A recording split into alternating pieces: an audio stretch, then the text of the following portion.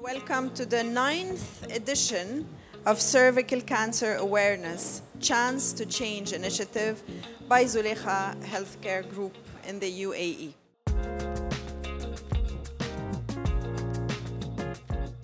Cervical cancer uh, is a cancer of the cervix. It can occur any part of the cervix. And cervix is uh, basically opening of the womb, that is we call uterus inside the vagina. Most of the time, like 99% of the cases, it is associated with a sexually transmitted infection. Uh, there's a virus, we call it human papilloma virus. It's important for mothers of boys to know that it is as important for young boys to take the vaccine as it is for you know young girls. For an herd immunity, if you give it to, bo- to both boys and girls, it is going to be very beneficial.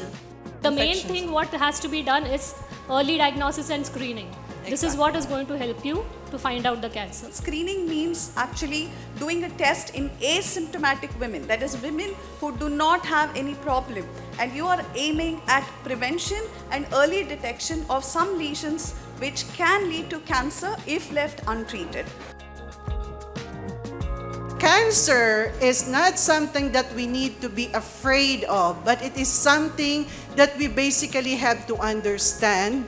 And by understanding means, first things first, we need to love ourselves. When the information comes from a mother or someone who's responsible in the family, the information is pretty authentic and they are ready to talk to you. They are open to speak about the subject. It's that we need to start taking that one step ahead. So the first step I would suggest is for you to, you know, reveal the results or the, the diagnosis in person um, when there are people who you trust and there are people who you love around you. How many cancers are preventable out of more than 100 cancers in our body?